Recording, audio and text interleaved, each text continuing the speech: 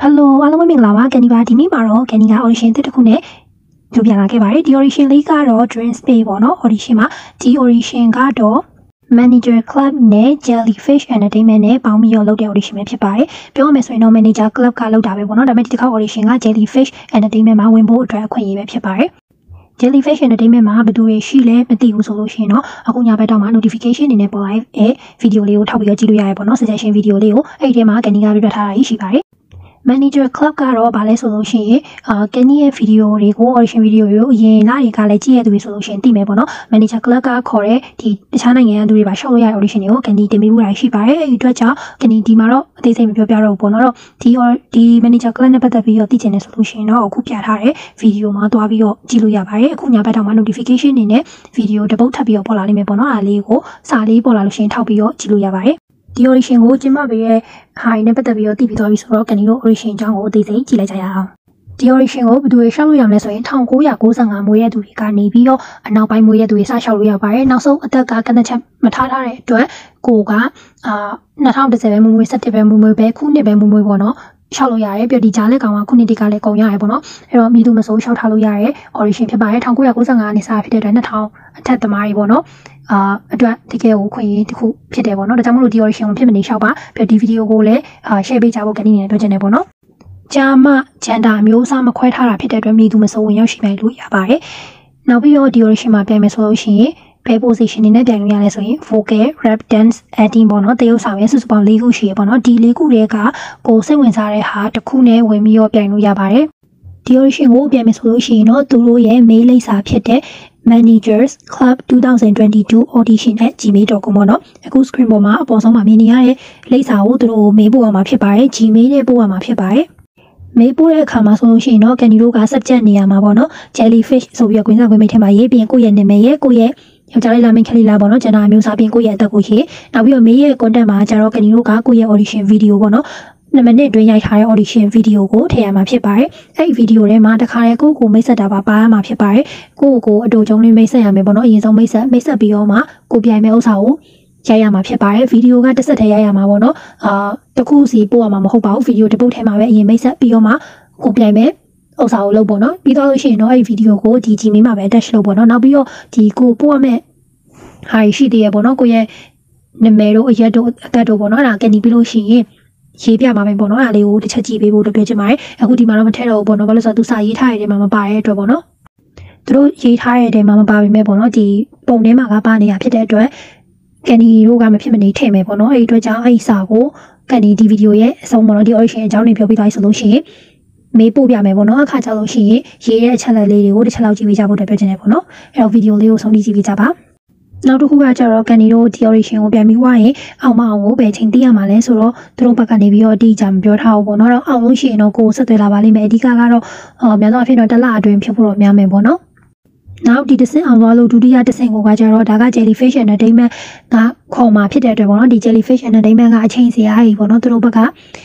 ကြည့်ပြီးတော့သူတို့အားတဲ့အချိန်မှာဒီဒုတိယတစ်ဆင့်ကိုလုပ်ပေးမှာဖြစ်တယ်ပေါ့နော်ကုမ္ပဏီနဲ့အရင်ဆုံးညှိမှာပါ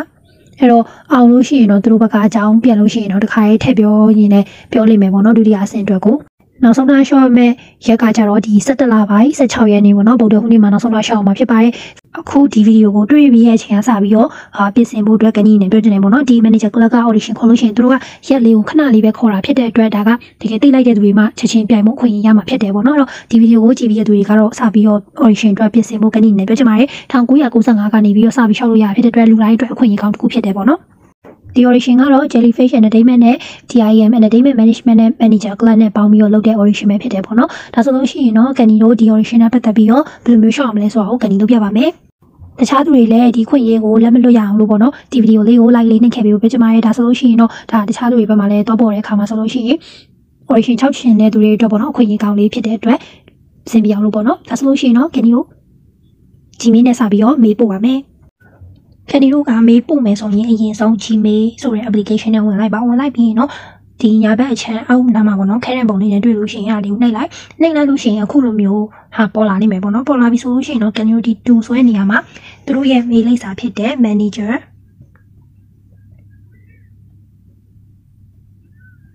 managers club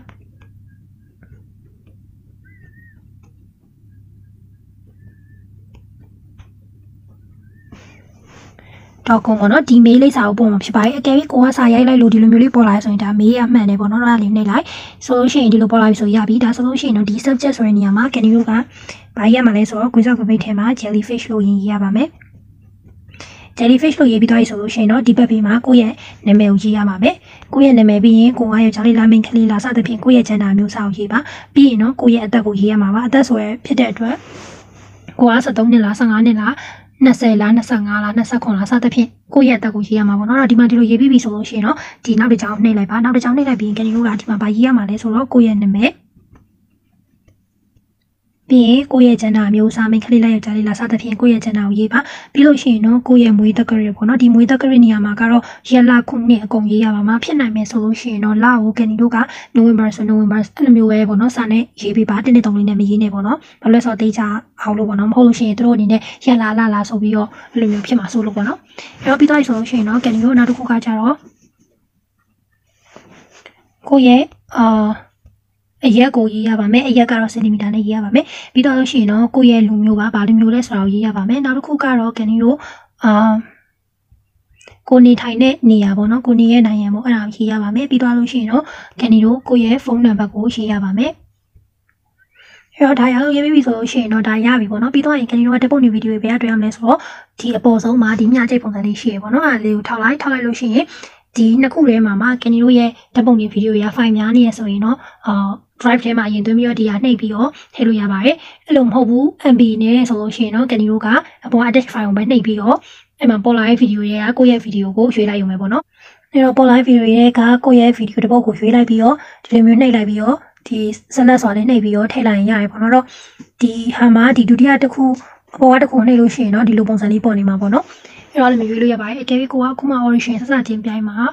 မသိဘူးဒီ origin video တွေလည်းတစ်ခါမှမကြည့်ဘူးခုမှစကြည့်ဘူးကမလုပ်တတ်ဘူးဆိုလို့ရှိရင်နီးကိုဒီ